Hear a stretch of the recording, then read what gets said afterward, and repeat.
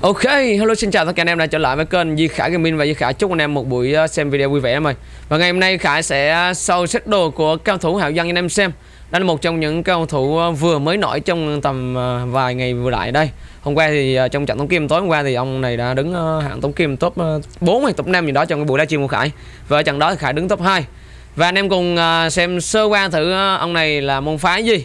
À, hôm qua ở trên trận tống kim thì đã đạt được uh, top 4 hay cả top 5 gì đó Khải không nhớ lắm anh em. Nếu mà xem kỹ lại thì anh em có thể xem lại video livestream ngày ờ, 15 tháng ờ, 4 của Khải ờ, trận tổng kim 21 giờ mà Khải đặt top 2 Ok bây giờ chúng ta sẽ cùng chờ đợi xem thử ông ta đang trang bị cho mình một môn phái gì. Nhìn sơ qua Khải người chắc đường môn em chắc chắn đường môn rồi.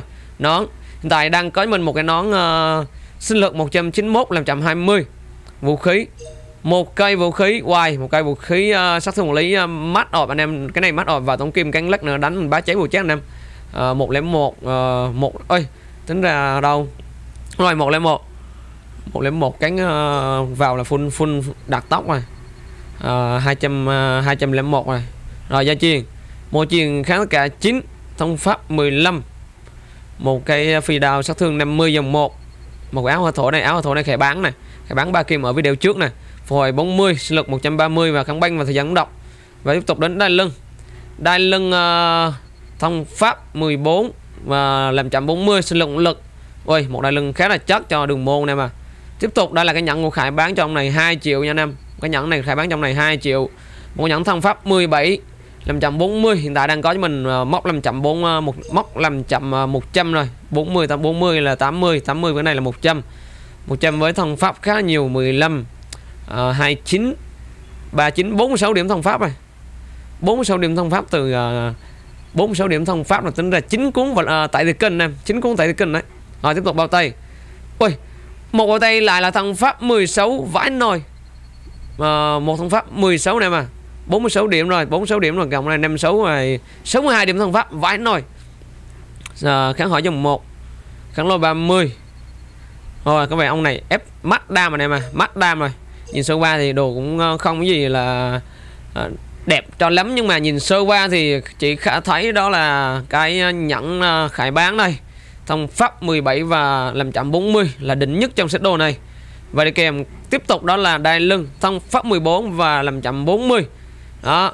Và tiếp tục đó là kèm không nói đến cái đó là vấn đề của cây vũ khí này. Đây đây là cây vũ khí sát thương vật lý 50 à, ờ, vào trong tống kim cánh ờ, phi tóc với lại lần bài sẽ đặt móc 201 đạt tóc nha em đạt tóc trong tống kim của đường môn nha cầm cái này thì ông này phi khỏi nói rồi nè. Nói chung nhìn tổng quan thì à, chỉ có nhẫn với à, đai lưng là gọi là hàng hàng khủng rồi vũ khí thì dùng một cái vũ khí này không có tốc độ thì khai nghĩ nó còn khá là rẻ nó dao động khoảng tầm à, 5 kim thôi 5 kim đổ lại rồi 5 đến 7 kim. Nếu mà chiều chơi thì mua có thể mua giá cao còn thường thường khải nghĩ cái này nếu mà thực tình đã mua thì khải nghĩ chắc khoảng tầm 5 kim đổ lại có thể mua được.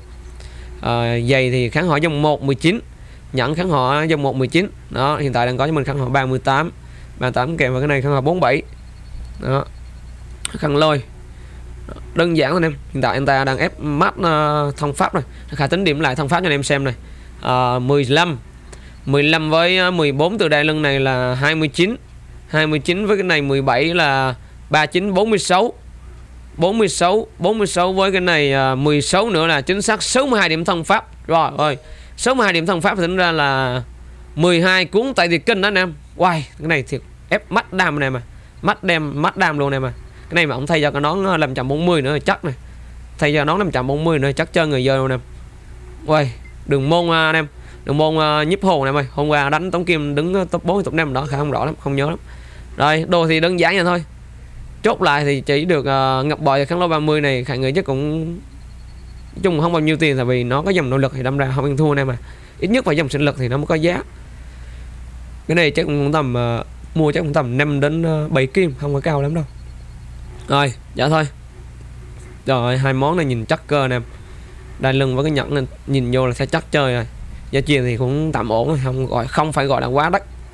Rồi tổng quan là sẽ đồ ông ta ép ờ, uh, mắt thông pháp này mà với 62 điểm cộng thông pháp vào cái đường môn của mình. Cực kỳ là chắc không biết ông ta tăng sức mạnh sinh khí như thế nào. Khải nghĩ chắc là đam chắc mắt đam rồi. Nên là có vẻ đánh tống kim sẽ có tốt. Gơ thiệt và server đây là server kéo xe em nên là có thể khải nghĩ là ông này tăng à, mắt đam và đi kẹp theo nghe mi thôi. Đó nhìn sơ qua anh em đồ thì cũng khá đơn giản thôi.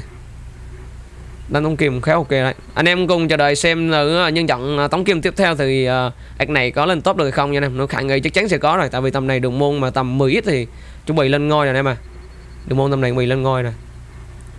Rồi ok anh em xem video này đừng quên để lại cho khải một like một chia sẻ và cũng như ủng hộ cao thủ hào dân nha anh em ơi à, chỉ mới hôm qua là ngày đầu tiên khải à, đánh tống kim khải thắng này lên top nên khải à, bm khải hỏi ngay sau sẽ đồ cho anh em ngay luôn.